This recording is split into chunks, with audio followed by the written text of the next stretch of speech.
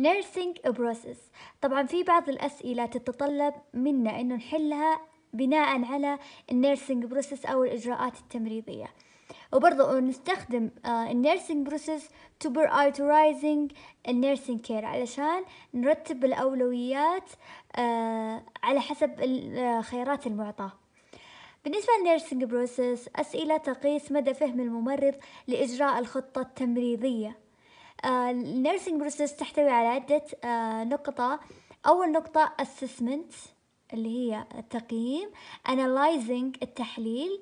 planning اللي هي الخطة الموضوعة أو الخطة التمريضية. implementation actual implementation of the nursing uh, action. uh, أو التطبيق الفعلي. و evaluation اللي هو التقييم النهائي. عندما يتم سؤالك لاختيار أول إجراء أو أول خطوة في الخطوة التمريضية حاليا لابد أن تطبق إجراء التمريض بالترتيب لاختيار الإجابة الصحيحة.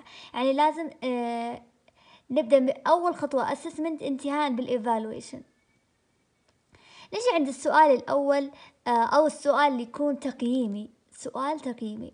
طبعا سؤال تقييمي تقييم المريض طبعا يتطلب جمع البيانات والتأكد منها ومناقشتها وتسجيلها Assessment questions addresses the process of gathering subjective and objective data. السبجكتيف هي المعلومات اللي أنا آه، أحصل عليها من المريض. المريض طبعا verbalize this uh, symptoms.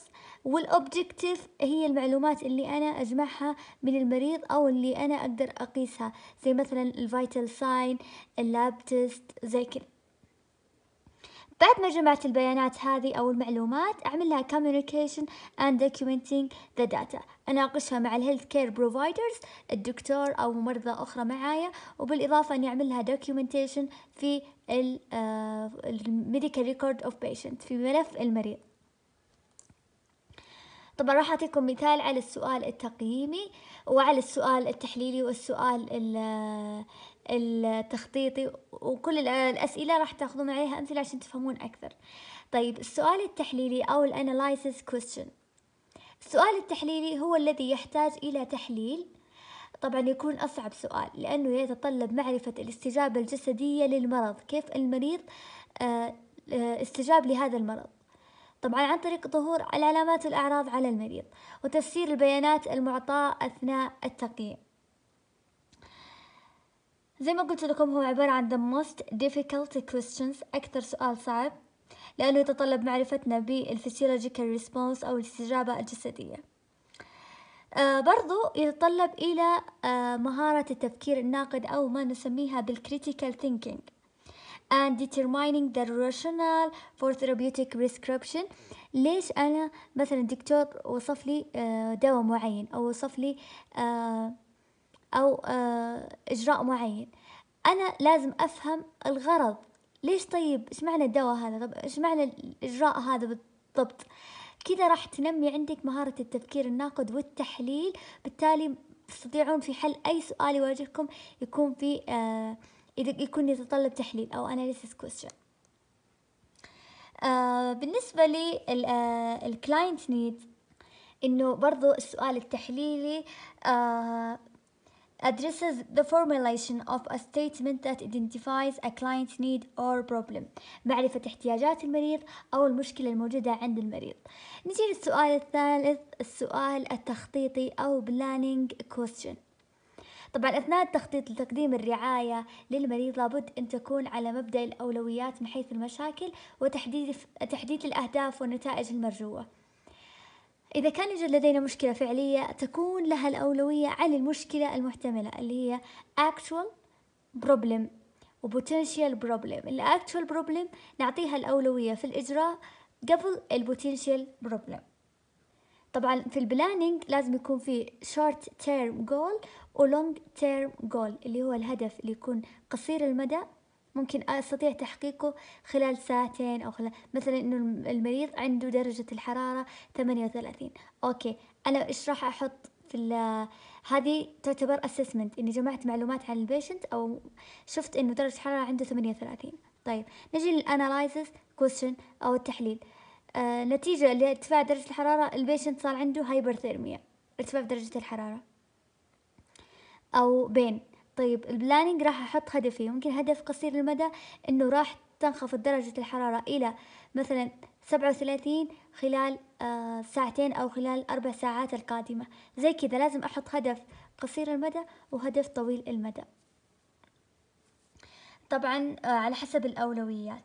وبرضو ال outcome criteria for goal of care. ال outcome اللي هي برضو النتائج المرجوة. النتائج المرجوة. من خلال إني أنا عملت الشيء هذا.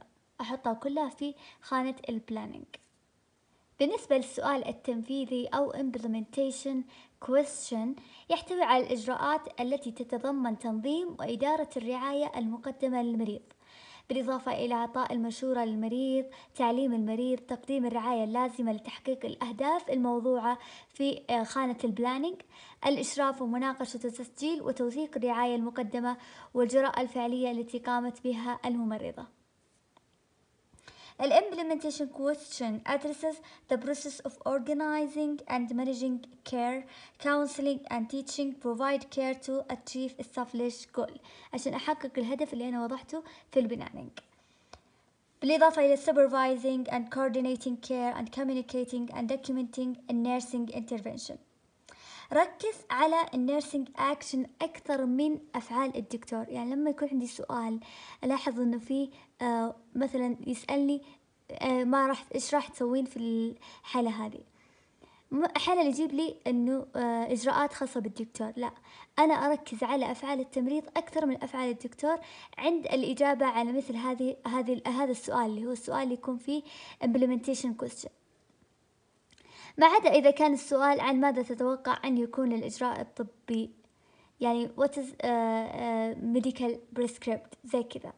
لكن في الغالب تختارون بس الأفعال التي تقوم بها الممرضة. السؤال التقييمي أو التحصيلي النهائي evaluating question. طبعا evaluating question يركز على مقارنة النتيجة الحالية الناتجة من الرعاية المقدمة مع النتائج المتوقعة في مرحلة التخطيط ومناقشتها أيضا وتوثيقها في ملف المريض.